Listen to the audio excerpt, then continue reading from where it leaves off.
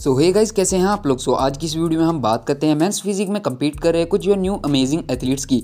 सो so, सबसे पहले शुरुआत करते हैं यहाँ पर जो जोविन सागवान की तरफ़ से। सो so, जोविन ने जो इस बार जो है मसल कॉन्टेस्ट फिलीपीन में जाकर जो है मिस्टर ओलंपिक की जो क्वालिफिकेशन है उसे हासिल किया। सो so, अगर बात करें जोविन की फिजिक की तो लिटली अमेजिंग जेनेटिक्स हैं इनके पास। सो so, रिसेंट में जो है जोविन ने यहाँ पर जो जैरमी बुनदिया के साथ जो है ट्रेनिंग करते हुए अपने जो एक रिसेंट में फिजिक अपडेट शेयर किया। सो so, आप इस फिजिक अपडेट में देखेंगे कि जोविन और यहाँ पर जो जैरमी जो है काफ़ी सिमिलर लग रहे हैं।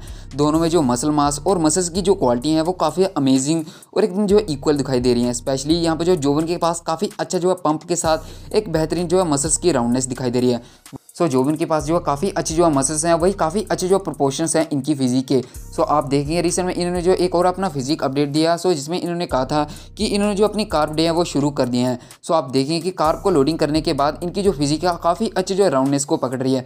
वहीं काफ़ी जो सिमिलर पोजिंग लगती है मुझे जो इनकी और यहाँ पर जो जेरेमी बुनेदी है कि, काफ़ी अच्छे दोनों एथलीट्स हैं। सो काफ़ी अमेजिंग पैकेज को लेकर आने वाला है ये जो इस बार के मिस्ट्रो ओलंपिया में। सो ओवरऑल सिमिट्री वाइज काफ़ी बेहतरीन है, वहीं वेस्कुलरिटी भी काफ़ी अच्छी है फिजिक की।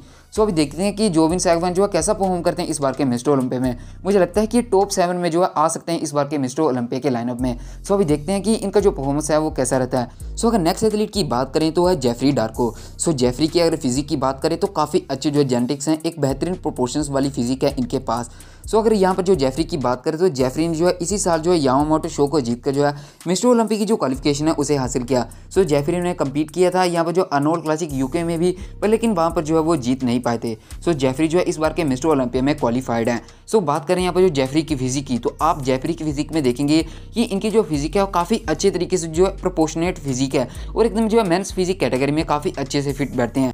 अगर आप इनकी जो फ्रंट की फिजिक को देखोगे तो काफ़ी अच्छे जो है बैलेंस के साथ बैठती है इनकी फिजिक स्मॉल वेस्ट है, वही जो शोल्डर काफ़ी अच्छे जो राउंडनेस को पकड़ते हैं और ओवरऑल जो फ्रंट की बॉडी है, काफ़ी जो है अच्छा एक्सट्रीम स्ट्रक्चर निकालती है। सो फ्रंट की जो बॉडी है, वो काफ़ी अच्छी है। यहाँ पर जो जेफरी डार्को की वहीं बात करें अगर इनकी बैक की तो मुझे लगता है कि इनकी जो बैक है, वो काफ़ी बड़ा जो है प्लस पॉइंट है इनकी फिजिक का। सो आप ले लीजिए कि इनकी जो बैक में काफ़ी अच्छे तरीके से जो एकदम कोबरा वाली जो बैक होती है वो दिखाई देती है। आप ले लें कि इनके जो बैक में लैट्स हैं, उनमें काफ़ी अच्छे तरीके से जो एक बेहतरीन जो सेपरेशन के साथ एक जो अच्छे तरीके से जो लेट्स खुलने चाहिए, वो काफ़ी अच्छे तरीके से खुलते हैं। सो जिसके कारण जो इनकी बैक की विर्थ है, वो बढ़ जाती है और वेस्ट जो है काफ़ी स्मॉल दिखाई देती है।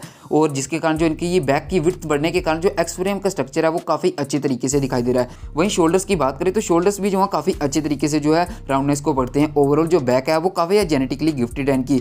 सो काफ़ी अमेजिंग एथलीट है। ये भी जो है मिस्टर ओलंपिया के मेन्स फ्री कैटेगरी के लाइनअप में। सो जिसके कारण जो इन्हें मुझे लगता है कि कवर करना काफ़ी ज़्यादा ज़रूरी था। काफ़ी अच्छे और न्यू एथलीट हैं। सो अभी देखते हैं कि जेफरी डार्क को जो है कैसा परफॉर्म करते हैं इस बार के मिस्ट्रो ओलंपिया में? आई होप बेहतरीन ही परफॉर्म करे इस बार के लाइनअप में। वहीं लास्ट में बात करें अली बिलाल की तो अली ने जो इस बार चार प्रो शोज़ में कम्पीट किया, जिनमें से कि तीन प्रो शोज़ को तो इन्होंने जीत ही लिया। सो अगर बात करें अली की फिजिक की तो अली की जो फिजिक है, वो काफ़ी अच्छे से जो है एक आइडल जेनेटिक्स जो होते हैं, उन्हें शो करती है फ्रंट से। वहीं अगर बात करें इनकी बैक की तो बैक भी काफ़ी अच्छी है, पर लेकिन ऐसा नहीं कर सकते हैं कि इनकी जो बैक है, वो किसी भी जो मेंस फिजिक एथलीट को जो है बीट कर सकती है।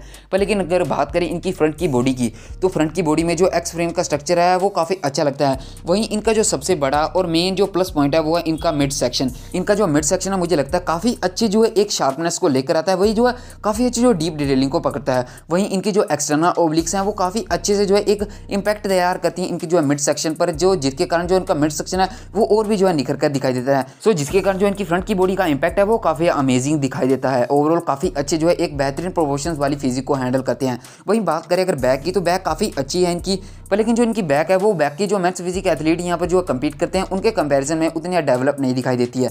पर लेकिन यहाँ पर जो अली बिलाल ने इस बार के मिस्टर ओलंपिया के लिए तीन प्रो शोज़ को जीत कर रखा है। सो जिसके कारण यहाँ पर जो है, इनकी जो हाइप है, वो काफ़ी क्रिएट हो रही है इस बार के मिस्टर ओलंपिया के लाइनअप में।